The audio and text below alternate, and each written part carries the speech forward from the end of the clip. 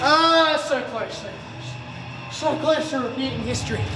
Oh, but that seals it. That seals it. Everyone was saying it was a fluke when I pinned Hiromu in December. Whoop-de-doo. Hiromu's got one up on me now. So give me my shot. Let's have the rubber match, Hiromu. And seeing as dual champions are all the craze in New Japan, I'm not looking past Thursday. Never six-man titles coming to chaos in a matter of 48 hours from now.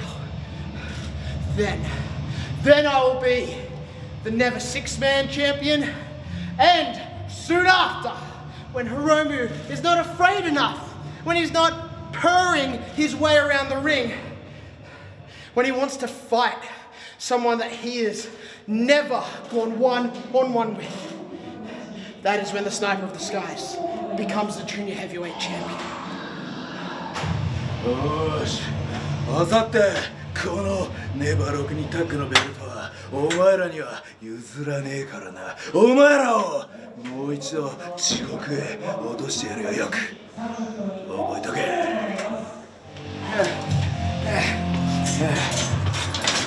リベンジ成功なわけねえよロビーなあシングルでやろうぜお前も言ってただろ。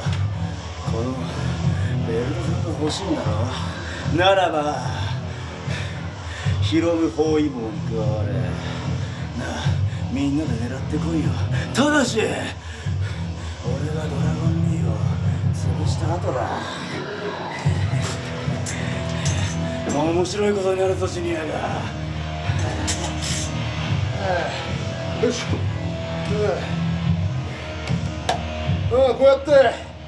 ベルト2本持って二度すんのも気持ちいいな。おいレスラー冥利尽きるよ。そりゃそうと石井のそんなについちゃってんだよ。相変わらず元気だなあのさん。ああ。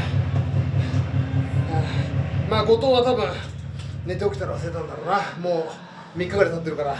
おこのネバーのベルト見せても何も反応しなかったし、はあ。それはどうそうだそうだ。2.9大阪城ホールでは俺試合組まれてないけど思ったんだ俺札幌でよ。オンリーワンのベルトにするとか言ったから。